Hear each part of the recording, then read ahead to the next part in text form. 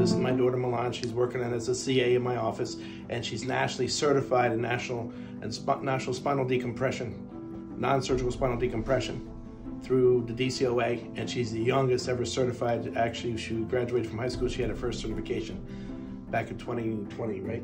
We had a couple, I'd say two patients came in, and we're going along normal treatments and stuff. I do have Accu-SPINA tables, and I also have two DRXs. And we decided to put the patient, because we were backed up, and we decided to put the patient on the DRX. Well, when the patient came off, is all I heard was screaming and I had to come running out. The girls had to come get me because it pulled and it actually pulled the muscle on the side of the patient because that does have a harder pull. So from that point, we got her situated, and I said, for now on, we're putting an Accu-SPINA table.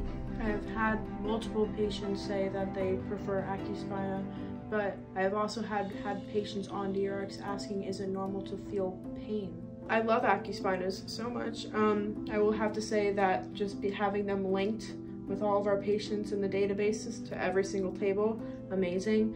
And it's a lot less toll on my body. It's so much easier because it's less straining than the drx it hurts a little bit as the ca i have three Accu-SPINAs okay? And you called it my acuspina my acuspina my acuspina, my acuspina.